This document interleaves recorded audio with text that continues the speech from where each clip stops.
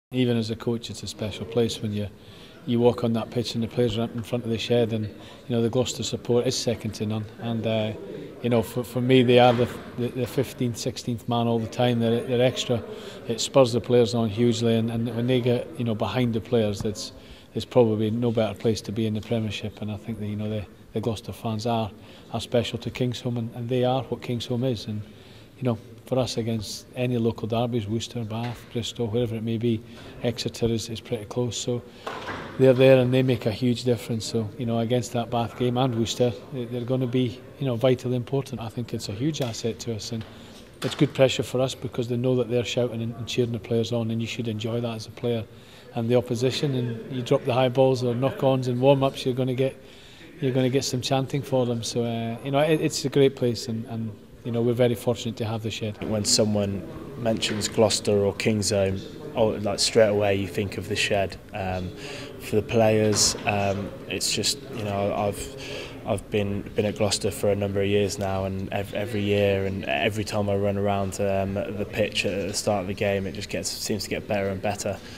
Um, they really, really want you to do well, um, and they try and and, uh, you know get behind you and, and through their voices. So yeah, it's you know it's the old adage it's our 16th man and when they're on when they're on form we definitely do play better. I do know speaking around to friends at other clubs that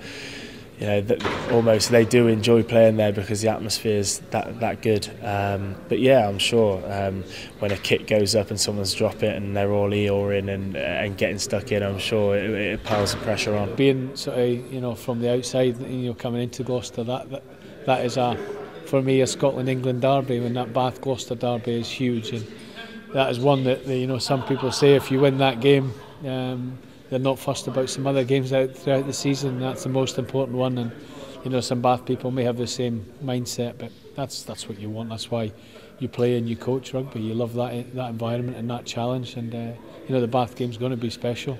And you know, as I said, we have Worcester prior to that as well, which is a derby game, so. these games are brilliant for the club, and you know it'd be great to have 16,500 people at Kingston. Fans are mic'd up to uh, heart rate monitors and stress rate monitors. Talk to the directors of rugby might be asked to do it. Think you might be interested in that? Oh, I don't know about that. I think uh, you know there's enough things to worry about than having a heart monitor on, and uh, you know I'll, I'll leave that to the fans. It'd be nice to see them and see their reactions and. you know, for them as well. I guess they'll be a bit excited, but there'll be a few uh, few hearts racing that day, I'm sure.